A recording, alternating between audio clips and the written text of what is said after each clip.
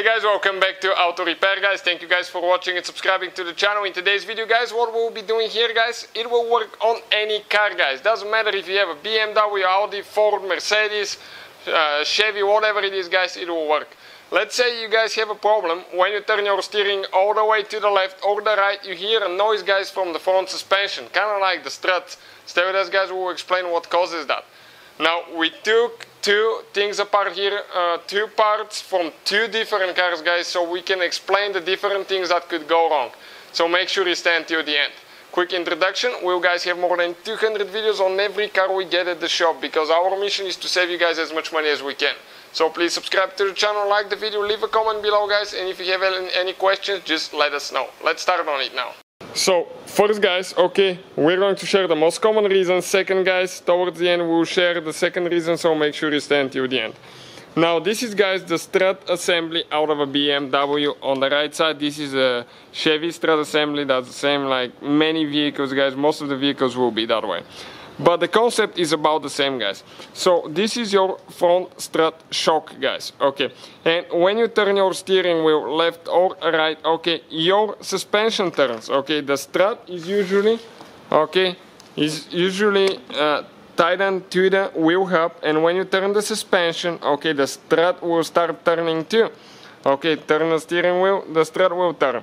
And now, guys, okay, how that happens? Okay. On BMW, okay, right here, and other cars as well, you have a bearing. Every car has a bearing in the strut mount, guys. This is called a strut mount. This is that uh, holds the strut to the body of the vehicle. We'll show you in just a second where it is.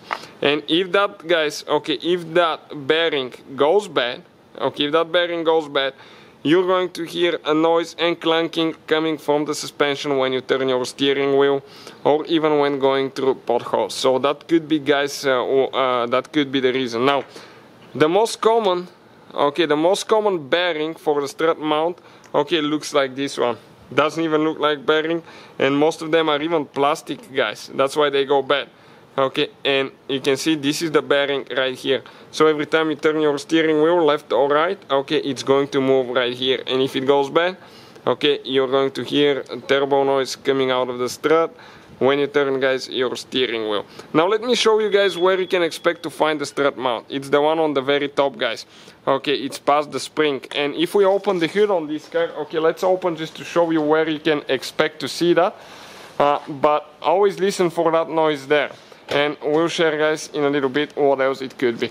So we'll pop the hood open and right here now okay check it out.